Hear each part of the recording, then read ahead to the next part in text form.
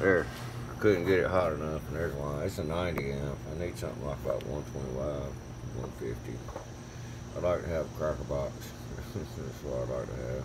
225, boy. Mm. We can put some power on. Damn, it's worrisome. But alright, there you go.